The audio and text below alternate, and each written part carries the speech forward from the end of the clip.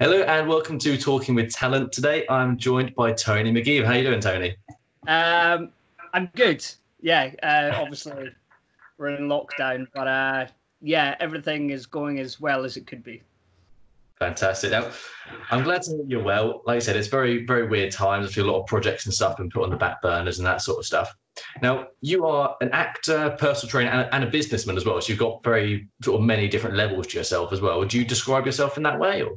Uh, yeah, I think um, I think we're all business people. At the end of the day, uh, in terms of the creative sides, uh, and I think especially nowadays, you really do have to have a business head on you.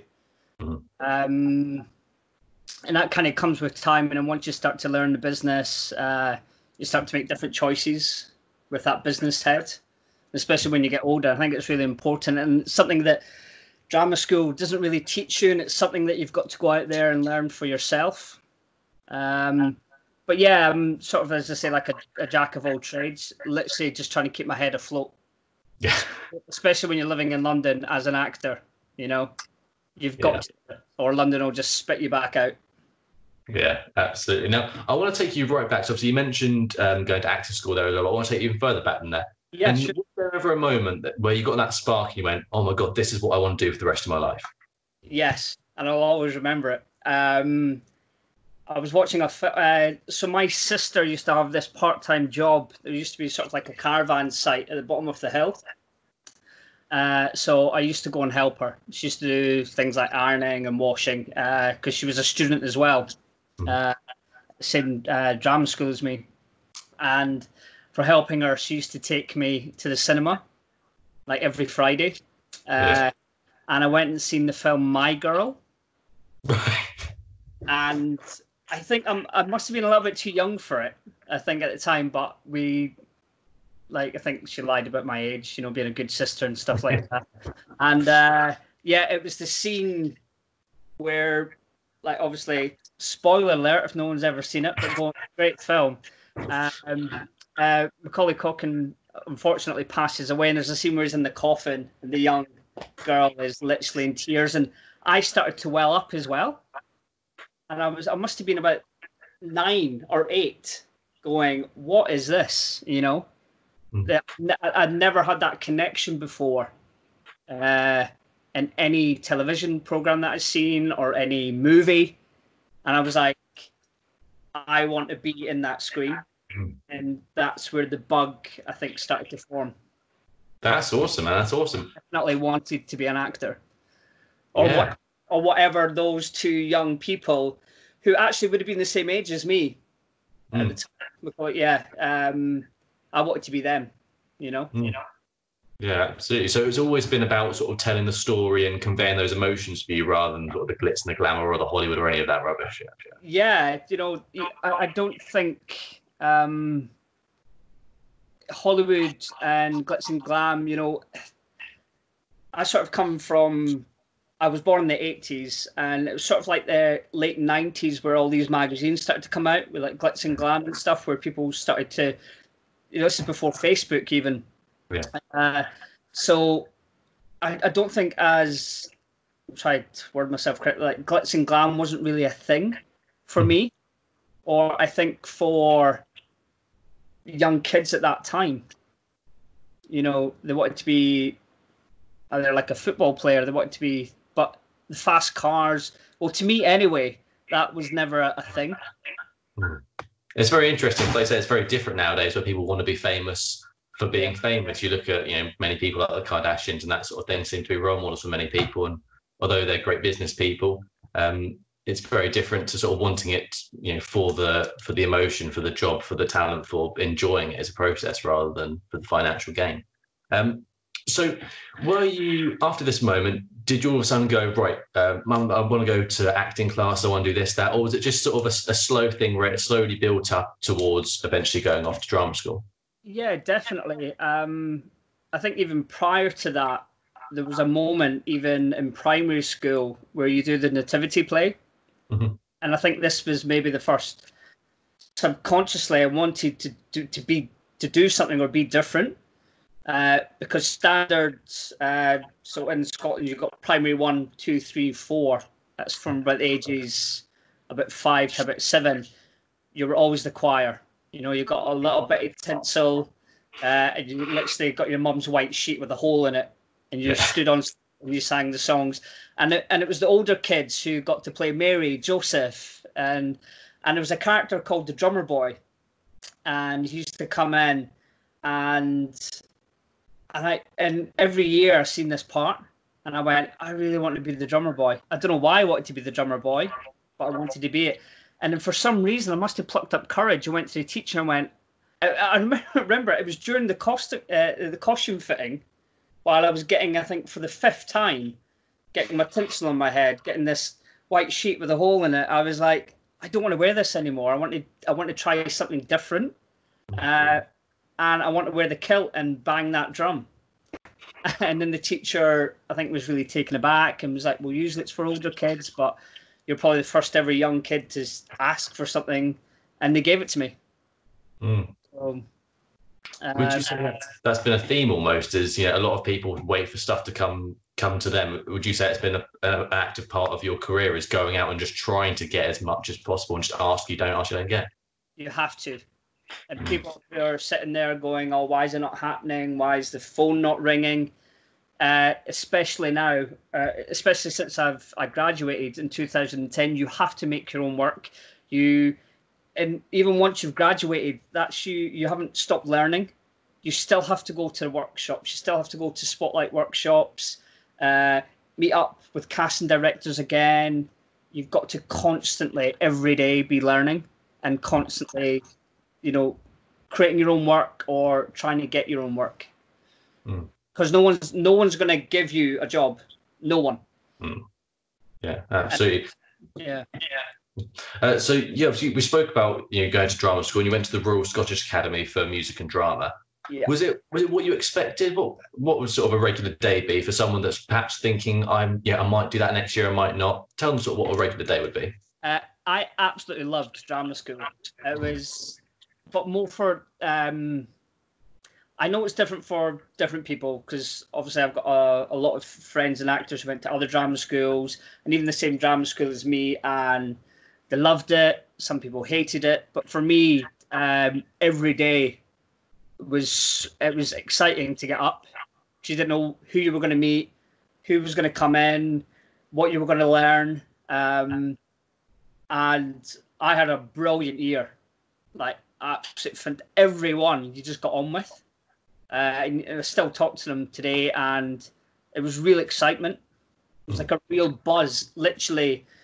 Uh, and people, I hope, still talk about it. Even when you come to audition, you go to the cor- there's a it's called, it's the audition corridor where you you line up. Uh, there was a real buzz, a real like thickness in the air, and it still exists. Even when I go back today to see old teachers, I still, regardless of what I've done now, I still get the same butterflies and excitement when I go in because it's sort of like steeped in history of who's been there, who's you know went through those doors and the possibility. It was just it was fantastic. Don't get me wrong. Some day, some days were really hard.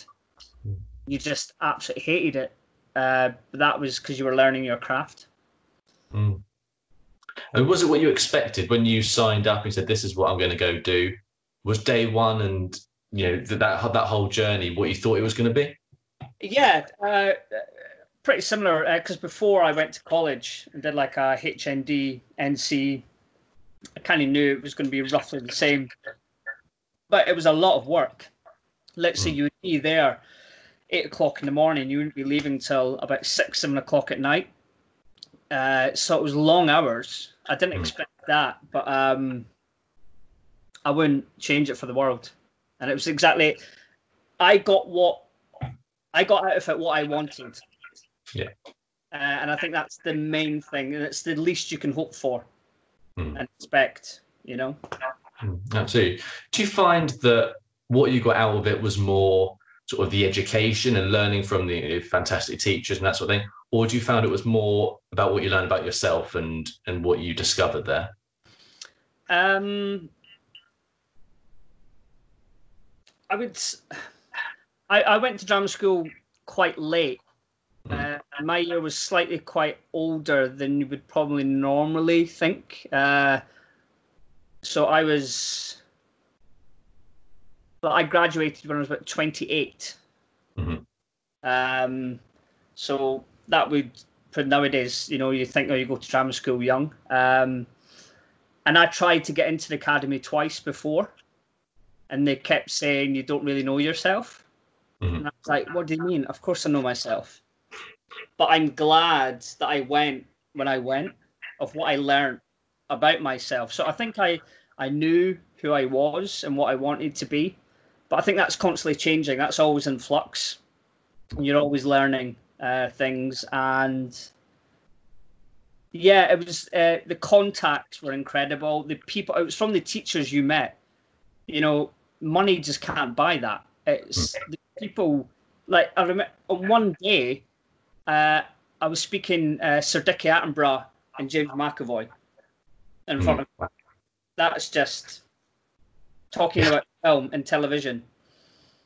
You just, you just can't buy that. You know. That's incredible.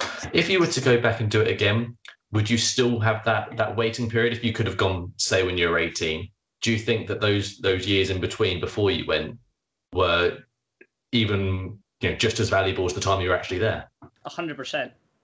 The stuff I learned between eighteen and going, um, a yeah, and I always say to, um, because now I do like a lot of eh, like Q and A's with like younger teenagers wanting to go to drama school, and I honestly say to them, do not worry if you don't get in. One, you don't need to go to drama school. Mhm. Or, or two, if you if you've really got your heart set on it, don't worry if you get a knockback or you're going to go through life with lots of knockbacks. But uh, honestly, it's the.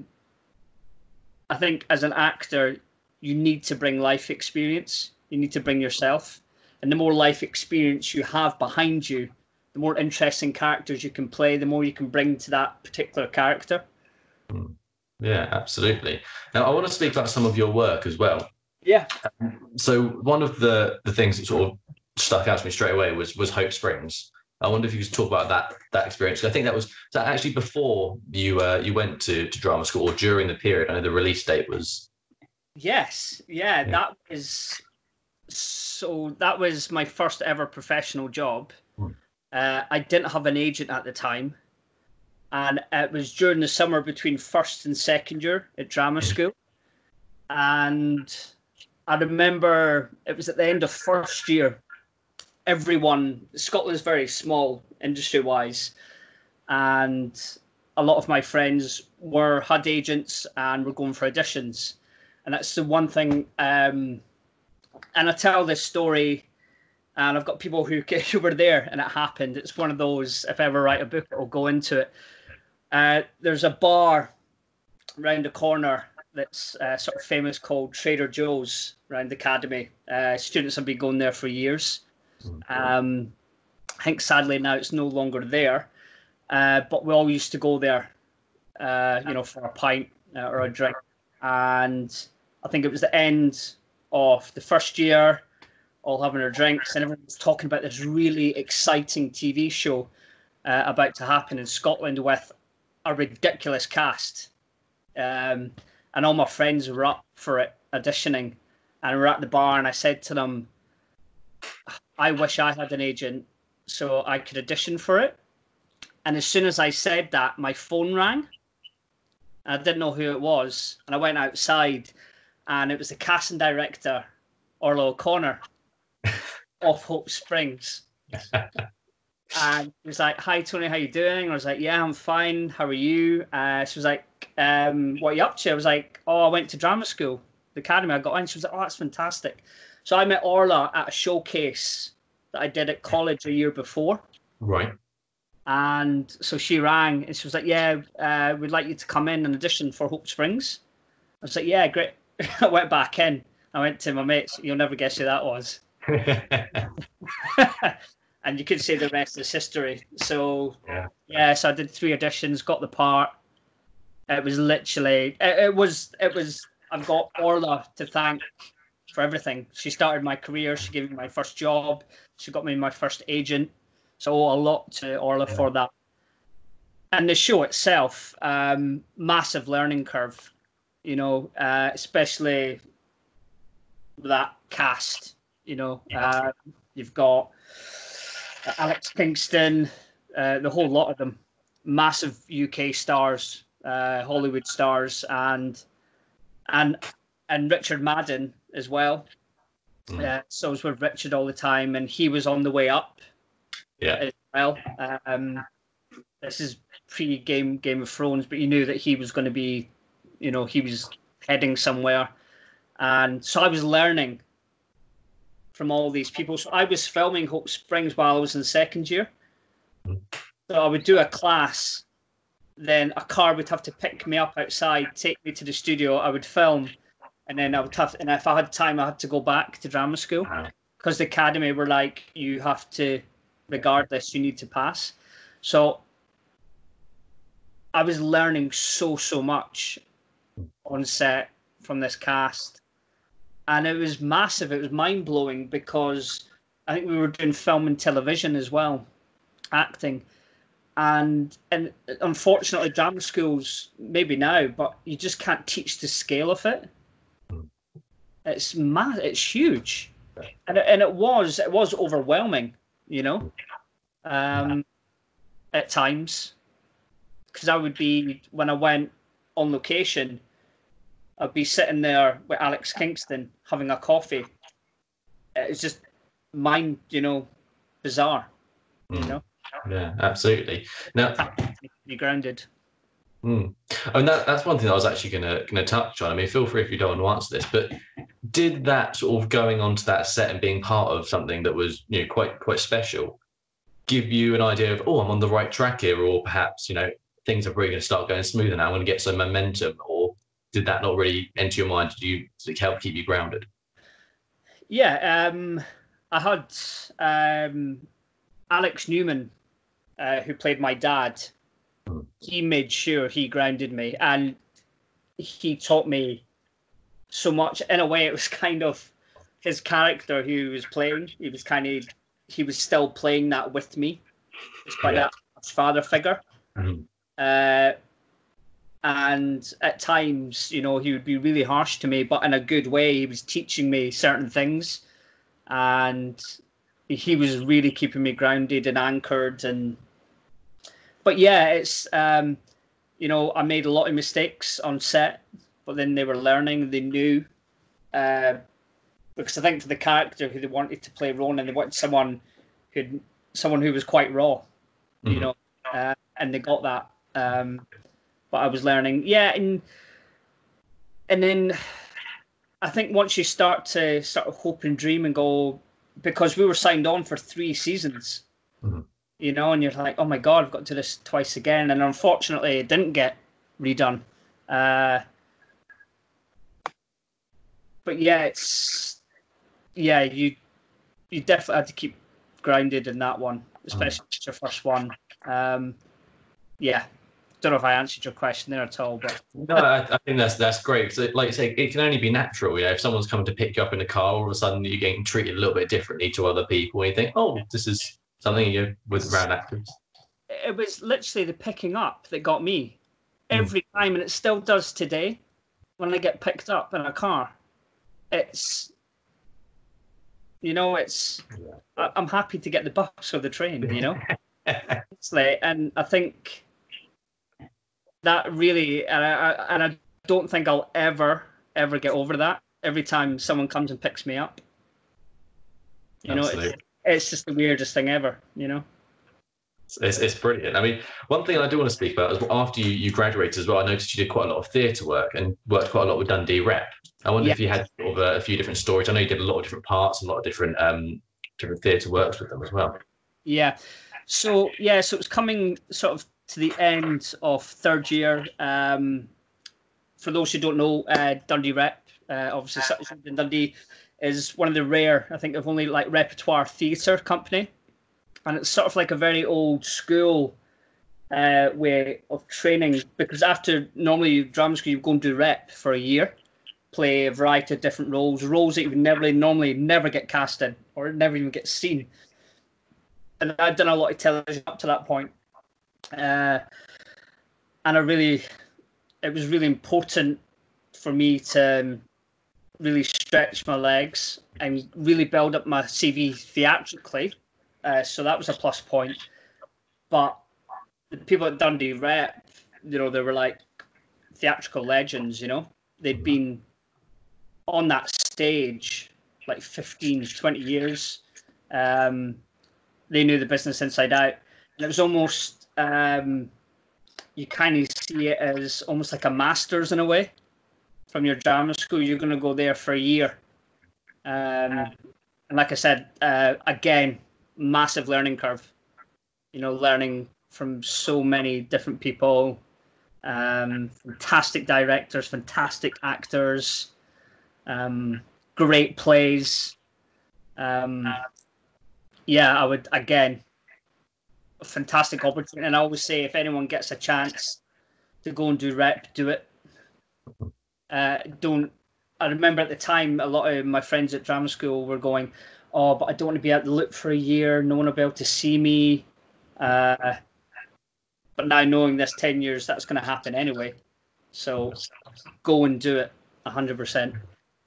It's, it's funny you mentioned that bit there as well, because that's something I wanted to touch on. Is it can seem like you're sort of out of the limelight for a little bit, and you're you're taking some time. I mean, did, did you find that that has now helped you so much more than if you hadn't have done it, if you just stay in the TV? Because a lot of people do just stay on the screen. Um, do you feel that has sort of helps earn your stripes by being on stage for a year and, and that experience? Hundred percent. Yeah. Uh, at the end of the day, as an actor, you want to act, and if someone's giving you an opportunity, go and do it, regardless of what it is. Uh, people holding out for bigger, better things. Uh, fair enough, go for it. But I want, I wanted to act, and I want to act. Mm. So someone gives me an opportunity, and I haven't, you know, it's something that interests me. I'll do it. Mm. hundred percent. And and I think you're, and again, it's keeping those like your acting uh, as a way. You know, you've got to constantly and even now, uh, like I said, after drama school, you know, I, I can continue to do workshops, continue to learn monologues, perform them, you know. Absolutely. Would you say you have a preference in terms of screen or stage? Uh, a lot of people ask that, and it's a common question. Um, I love them both. Uh, I think they're completely different in terms of what you get off. Uh, on a very simple aspect, uh, yes, television and film is very exciting. You know, it's a big scale. You know, talking about cars picking you up and you get your food paid for, hotels. You know, and you get treated really, really well. Um, and it's exciting, but you don't. But then you need to wait for a long time before it comes out. Theatre, without doubt, is probably my favourite because you're constantly excited. You know, you're constantly with that group of people you're creating something every day. You know, the rehearsal process and then tech period and when you go and do the show itself. Um, so I don't think nothing will ever beat theatre. So kind of answered my question. Yeah, myself. Yeah, yeah. theatre. Yeah. Perfect. Um, so you've had a lot of experiences since then as well. You've done a lot more screen work. I want to touch on Shetland as well. How was your experience there in terms of again sort of scaling up and a fantastic cast, fantastic audience there as well? Yeah. Um, as an actor, I've got you know, I think we've all got tick boxes of things that we want to do. Um, maybe for like a certain ego thing or as a fan boy thing as well. And Shetland, uh, I always wanted to be in because one, it's just it's shot beautifully. Mhm. Every time I watch it, I'm like that. So I just love to go there or be in it. And second, um, uh, Dougie Henshall, unbelievable actor. Yeah.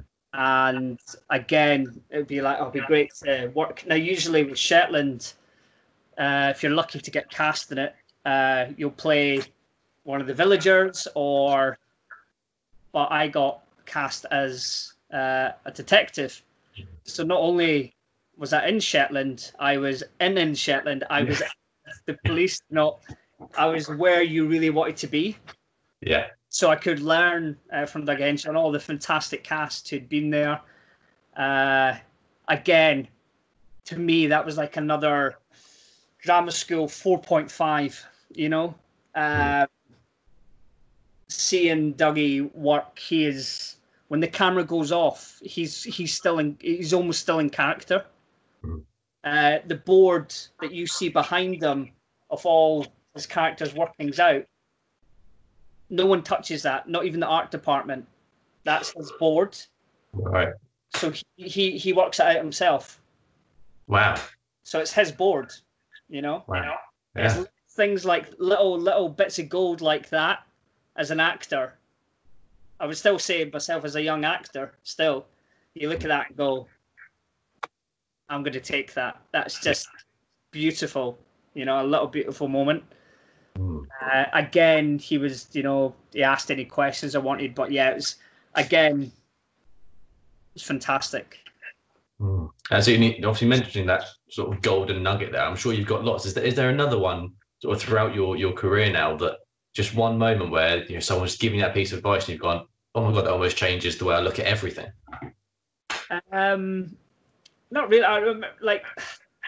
I wouldn't say it was advice, but it was just a funny moment on Hope Springs uh, with uh, with with the legendary Annette Crosbie, and I was still at drama school, and uh, um, one of the things at drama school was voice. You know, uh, you know, always warm up and you know things like that, and and that was one of the biggest things I seen. So I was going to television and no one was warming up their voice. Like, you know, it was just we were laying back, having cups of coffee, tea, having sandwiches, and you know, they get called to set, they're going to do their thing. And, and one time I was in a corner with Annette, and we just started chatting, and I wanted to ask her, you know, she's done everything. I was like, Annette, do you ever warm up? And she goes, darling, there's no warm up to life. And then she just off. like, wow, you know? Um, because it is, it's TV, film is a different medium. It's Mhm. not stage, you know? Like when I walk into a room, if there was a camera here, I'm not going to warm up my voice to go and speak to my flatmate. Yeah. So, yeah. And I, that was, I was like, wow. Those little nuggets, isn't it? I mean, one thing that I, I've seen that is now sort of in post and looks like it's got ready to be released soon. Hopefully, I mean, you'll be able to tell us more about it. Is uh, adultery. I was wondering if you could sort of discuss that. Yes. Uh, so that is uh, one of my friends' uh, projects uh, who went to drama school. Mm. Uh, fantastic writer, and they got some really good funding for it. Uh, so they've shot a pilot for it, uh, and I sort of did it as a favor. Mhm. Uh, but they got lots of good cast together, and we don't know what's going to happen with it. Mhm. Uh, I think there was a hint of like Channel Four were interested in and things like that. Uh, but fingers crossed something does. And I think especially now what's happening, there are platforms that something can happen with it. But again, that was again just friends sort of getting together, you know, making something happen. Mm. Uh, or making something happen for your friend who wants to do something, and, and, I still do that today. You know, if someone's got a project, you know, I'll go and do it. You know, and it's one of those things where you don't get paid. You might get a pint or two pints for it, um, and I think it's very important to go and do those things. Yeah, you know, absolutely, absolutely. Now, so we spoke at the, the top about you know, the personal training, the different businesses, and you know, being being a business person and um, in acting, and also outside of acting as well. Obviously, very strange times again, but you've got a couple of businesses as well. You've got the mind body transformation specialist. Um, have you got any tips for people sort of keeping fit in this uh, these very weird times? Yeah. Um, I always say my number is walk. And I've been doing it every day. I do all my friends and family, they're probably sick of me saying this, but I always say make sure you get your 10 to 12,000 steps a day. Um, and before I was doing that more from like a physical aspect. Uh, but now I'm listening to podcasts. Uh, so I'll listen to lots of podcasts. I'm learning on the go Mhm. and you forget that you're walking and you're learning so much you know i've been watching so much hollywood uh, Hollywood Reporters Roundtables. Mhm, yeah. Again, that's great. You know, you learn. You've got the writers, actors, directors, producers. So I would say if anyone wants to learn about the business, just binge on that. Yeah. You know. Absolutely. And another business I wanted to talk about was uh, lights, camera, cut, mind and body there as well. So what is the the difference here? And, and tell people about the, the service and what, what you do there.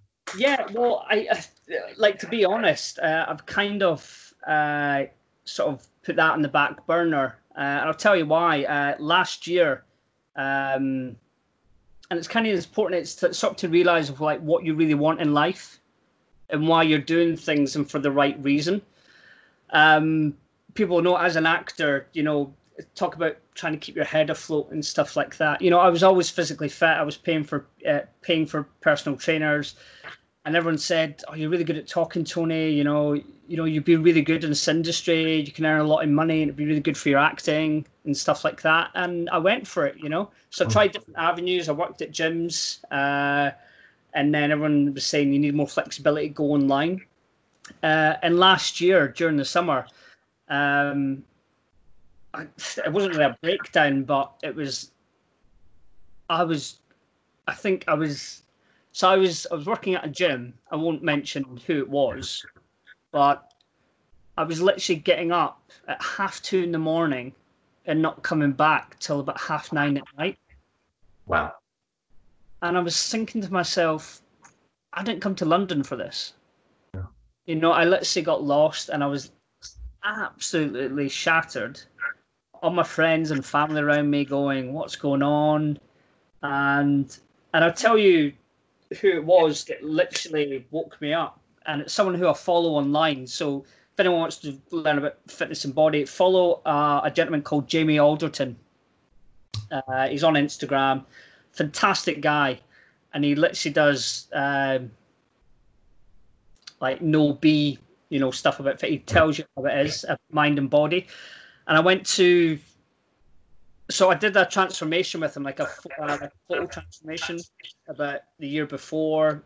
So we kind of had like a little dialogue with him, follow him, and I went to one of his seminars in London, and about 90 98% of everyone in the room were personal trainers wanting to do what Jamie Alderton's doing, how successful he was online but everything I kept hearing from Jamie was, you know, do your passion, do what you love, do, you know, be true to yourself.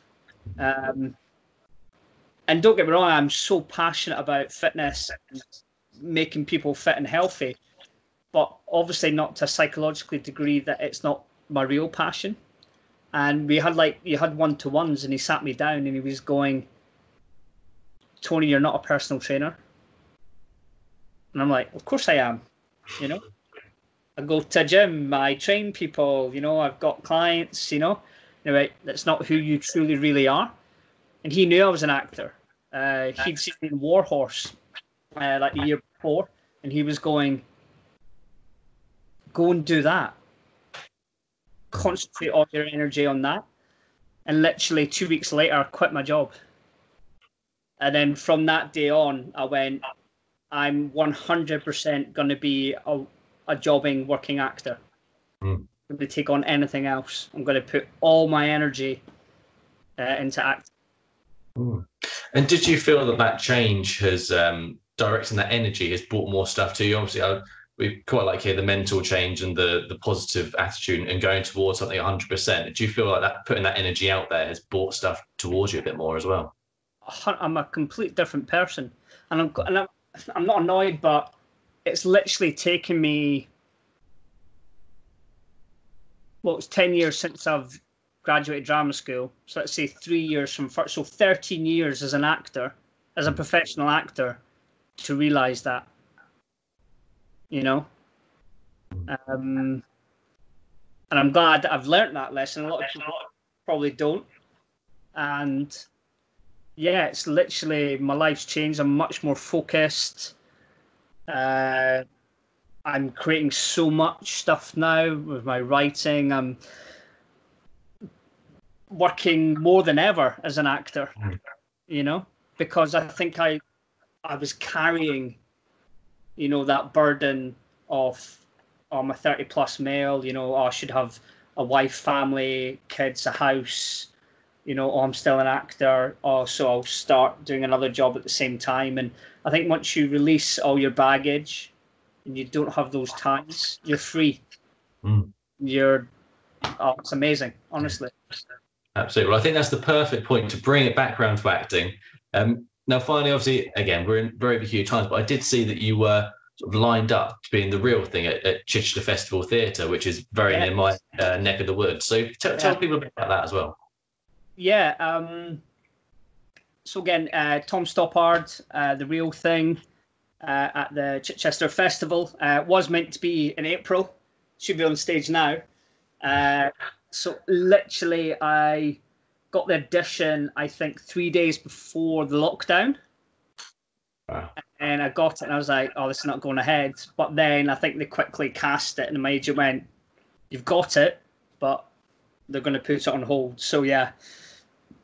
Um, again, that's one of my one of my tick boxes. I've always wanted to go to that festival, uh, just be on that stage.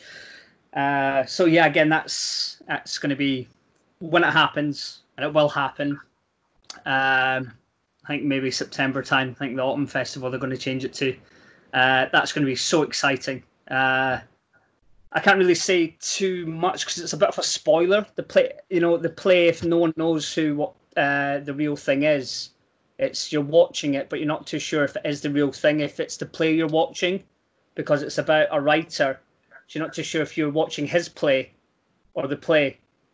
So, okay. so it's literally Inception on stage. Sounds very interesting. I mean, anyone that's not been to the Chichester Festival Theatre as well, it is fantastic there, and some Yeah. world class names have performed on that stage. So congratulations, mate. Yeah, yeah, and it's uh, it's got a good cast so far. Uh, but yeah, it's I can't wait to do it. So again, you're very very lucky as an actor when you get to tick one of your boxes, Mhm. and that may be working with an actor that you've loved, or go to a stage, or or even a town, you know that you've always go to. So No, that's fantastic. Fantastic. Well, congratulations, and like I say, look forward to, to hearing about that after all Yeah. of this uh, Yes. lockdown finishes. So, where's the best place that people can keep up to date with you? Obviously, find out when the, the show's going ahead. Uh, yeah, uh, Instagram is. I'm always on Instagram doing. You'll see me in my daily walks, Yeah. pictures of ducks or birds or whatever uh, daft things I see. But yeah, uh, Instagram, uh, Tony McGeever. Uh, that's probably the best thing to look at. Uh, so yeah, that's sort of my little keyhole into my life is Instagram at the moment. Absolutely. We'll put the links down in the description as well. Uh, Tony, thank you so much for today. It's been an absolute pleasure speaking to you. Thank you. Thank you so much. No problem. Thank you very much for watching, guys. If you have enjoyed, please remember to like and comment and subscribe to the channel, and we'll see you next time. Take care.